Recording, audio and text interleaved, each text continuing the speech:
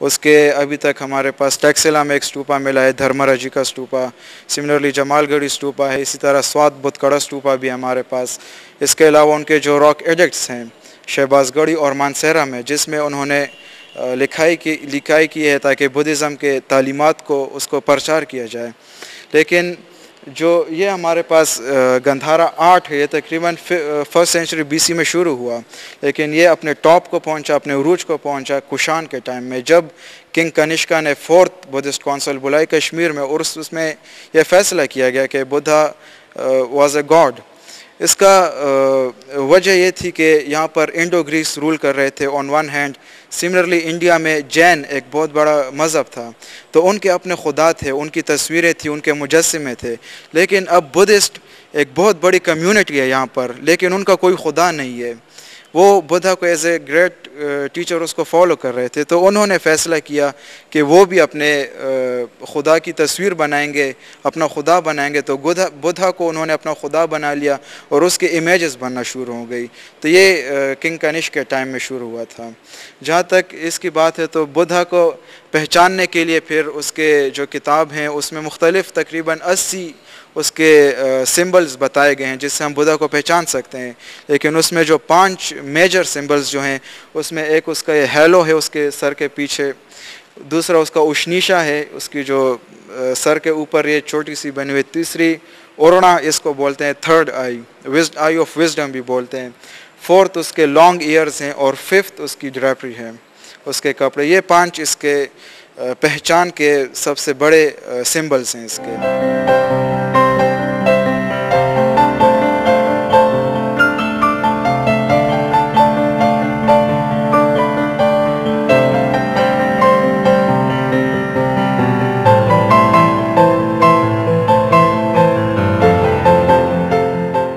King Ashok के ज़माने में बुद्धिज़्म मशहूर थिए तो गौतम बुद्ध जी तालीमी ख़िदमतुनि खे नज़र में रखंदे शूदर ऐं ब्राह्मण वारी तस्वर ख़िलाफ़ वॾी तहरीक हली हुई। मौर्या ख़ानदान जी हकमियत जी पुॼाणी खां पोइ सन हिकु सौ सतानवे क़बल मसीह में इंडो ग्रीक्स हिंदू कश खे क्रॉस करे गंधारा में दाख़िल थी विया। जंहिं बैदि सन नवे क़बल मसीह में इंडो सेथियन हुक्मरानी जो वागू संभालियूं। इंडो सेथियन जे दौर जी पुॼाणी खां पोइ इंडो पार्थियन सन ॾह क़बल मसीह में अची हितां जी हाकमियत संभाली। उन सॼे ज़माने में रुगो गौतम बुद्ध जी तालीमात ते ई ज़ोर वियो। ऐं उन ज़माने में गौतम बुद्ध जो मुजसमो अञा ताईं न हो। अशोक मौर्य जो था, वो टेक्सटिला का दो बार गवर्नर भी रह चुका था। जब वह तख नशीन हुआ तो उसने मेदेंती का नामी एक आलिम को भेजा, जो यहाँ आकर उसने बुद्ध मज़हब को परवान चढ़ाया। और ये जो बुद्ध मज़हब यहाँ उसने राइज किया, उसे हम महायाना बुद्ध मज़हब कहते हैं।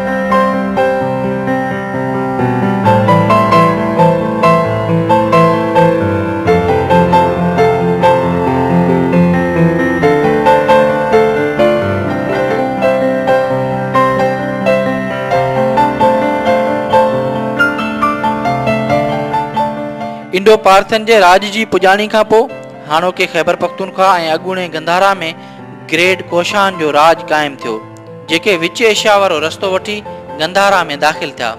हाणे ईसवी सदी जी शुरूआति थिए थी ऐं पहिरीं सदी जे सन टीह ईस्वी में कोशान जे राज जी शुरूआति थी। सन हिकु सौ सतावीह में किंग कनिष्का जे बादशाहत क़ाइमु थिए थी, जेका बादशाहत हिकु सौ सतेतालीह ईस्वी ताईं जारी रही। कनिष्का बादशाह वारे वीह सालनि जी हाकमियत वारो दौर में चौथी बुद्ध कॉन्फ्रेंस कश्मीर में कोठाई वई जंहिं कॉन्फ्रेंस में गौतम बुद्ध जी जिस्मानी तौर ते वाखाण कई वई उन कॉन्फ्रेंस में चयो वियो, त गौतम बुद्ध को आम माण्हू न आहे बल्कि ख़ुदा आहे अहिड़ी रीति बुद्धिज़्म में बि हिनायान फ़िरके खां महायाना फ़िरके जनम वरितो।